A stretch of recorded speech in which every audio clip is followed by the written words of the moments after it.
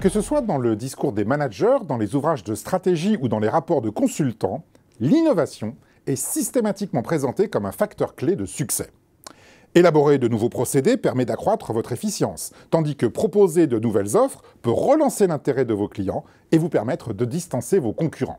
Que ce soit par la réduction des coûts ou par la création de valeur, qu'elle soit de procédés ou de produits, l'innovation est un moteur essentiel de la performance. Or, eh bien, ce discours repose sur une condition implicite.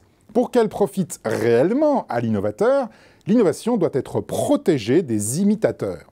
Si, à force d'investissement et d'expérimentation, vous développez un nouveau procédé ou un nouveau produit et que vos concurrents n'ont aucun mal à le copier, bah, vous aurez en fait travaillé pour eux, sans créer le moindre avantage concurrentiel. La protection de l'innovation est donc capitale. Et pour cela, deux approches sont possibles, le brevet et le secret. Déposer un brevet vous confère l'exclusivité de votre invention pour une durée de 20 ans. Alors, ça vous coûtera environ 5 000 euros pour une protection limitée à la France et jusqu'à 50 000 euros pour une protection internationale. Vous disposerez alors d'un droit exclusif d'utilisation de votre invention, un titre de propriété que vous pourrez éventuellement céder à des tiers. Euh, c'est d'ailleurs la raison pour laquelle certaines entreprises brevettent leurs inventions, mais ne cherchent pas par la suite à poursuivre d'éventuels contrefacteurs. Ce qui les intéresse, c'est avant tout cette opportunité de revendre leur technologie. cependant, n'oubliez pas que le brevet est un document public. Pour breveter une invention, vous devez précisément expliquer en quoi elle consiste. C'est d'ailleurs l'un des rôles essentiels du brevet que d'assurer cette diffusion de l'information qui permet une meilleure stimulation de l'innovation. Déposer un brevet, c'est expliquer à vos concurrents ce que vous avez découvert. Or, eh bien, certaines entreprises ne souhaitent pas révéler leurs inventions. Elles préfèrent recourir au secret.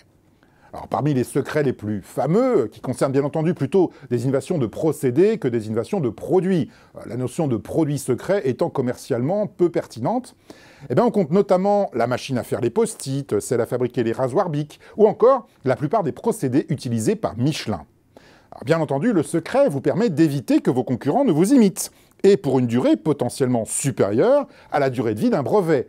Mais c'est une approche risquée. Euh, si jamais votre secret est éventé, vous ne bénéficierez d'aucune protection juridique. C'est ce qui est arrivé, euh, par exemple, à la formule du Coca-Cola, que la chromatographie a permis de révéler et qui n'est donc plus secrète. Par conséquent, recourir au secret impose d'adopter des tactiques comparables à celles des réseaux clandestins, fractionnement de l'information, dissimulation, codage des données et confiance dans la fidélité absolue des principaux collaborateurs.